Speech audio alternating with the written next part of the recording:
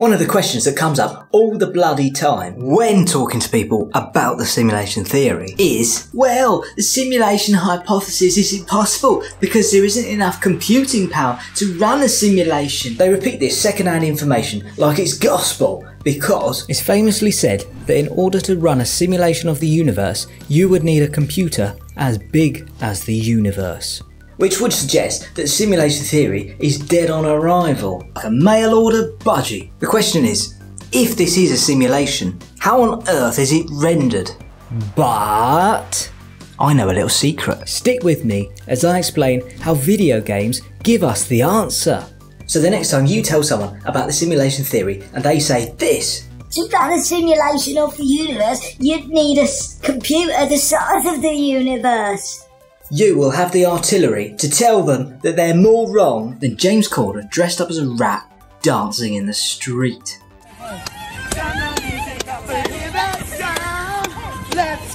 Oh wow, they're causing all that bibbing. Do you know what I mean? Someone's trying to get to hospital, the grand's dying, they're in the road. Get out the fucking road. But I don't need to diss this idea too much. It's fairly simple to debunk. And in the future, when it's known outright that this is a simulated reality, like a VR MMO RPG video game, I will be heralded as a forward thinking genius. But you already know that. I mean, you know, I already am. But unlike Copernicus, I would actually like to be around to see it. I hope they don't bring back the guillotine in the future for heretical views, because then if they cut my head off, I really would be ahead of my time because video games may give us the answer to this question already about how to render an entire universe. The universe that you and I are currently inside. Now, let me just confuse the hell out of you by saying rather smugly, I agree with the man who said that to simulate an entire universe would require a computer the size of the universe. Like a good tree, it would. If it was rendering the entire universe, but it isn't. That is not IMO how it's rendered. This person is guessing that the universe is rendered all in one go by some big ass motherfudging computer. Nope. What a waste of energy that is. Right? Nah, I reckon they're more eco-conscious in the future. Reminds me of this hippie girl I used to know. Great eco-friendly body, very little waste. It's a bit like the jokes on this channel, all the best ones are recycled. Rather than this simulation being powered all in one go by one big computer, rather, I think, just like video games, it's powered by our own individual devices in base reality. Think about it for flip flop's sake. When you play an online video game, it's not one computer that simulates all of Call of Duty Warzone, is it? No. Every player has their own computer rendering just their own experience, no one else's.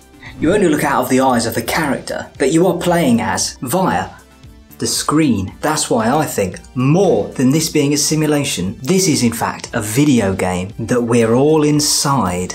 Being rendered by our own individual computers in base reality. Let me give you an even better analogy. Think of it like your PlayStation or Xbox or PC. It sits in base reality, but then you hook up your VR headset to it and you go inside the game, but the PlayStation is still on the outside in base reality.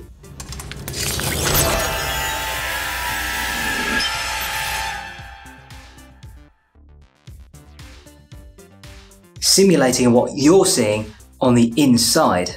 But. But, but, but, but, but. How does a video game render the world inside the video game? Good question. When you play a video game, the computer only animates a tiny part of the world that you're actually in. It doesn't simulate the entire universe at once, because there's no point in animating even what's behind your character. That is a waste of processing power. It only renders the part of the world that your character can see. It only renders the part where your character is, which is about 0.1% of the entire map. The rest of the world is there, but the computing power is only rendered on the tiny area that you are in and can see, or observed, which is what quantum physicists would say. Easy for you to say. I quote from the Guardian newspaper.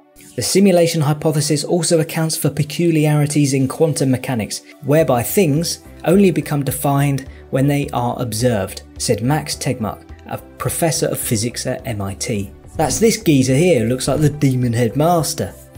What a great show. Quote, for decades it's been a problem. Scientists have bent over backwards to eliminate the idea that we need a conscious observer. Maybe the real solution is you do need a conscious entity like a conscious player of a video game, he said. First, it provides a scientific basis for some kind of afterlife or larger domain of reality above our world.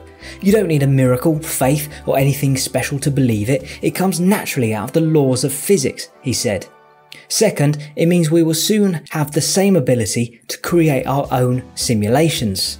See, it's not just me saying this. I've got scientists coming out in their droves to agree with me. So, we can now answer the classic question Does a tree make a noise in the forest if nobody is around to hear it? No, it doesn't.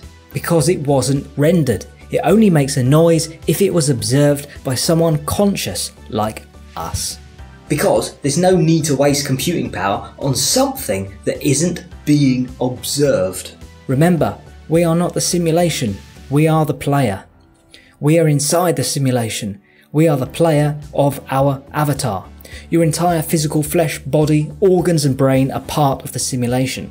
But your mind, your consciousness, that bit that you think with, is not part of the simulation. That bit will carry on and go back to base reality when your avatar dies. We, you and I, are the universe experiencing itself. Life is basically a game for some immortal beings. Think of it as a mandatory or fun activity that we have chosen as immortal beings. Life is a video game, and that was how it's rendered.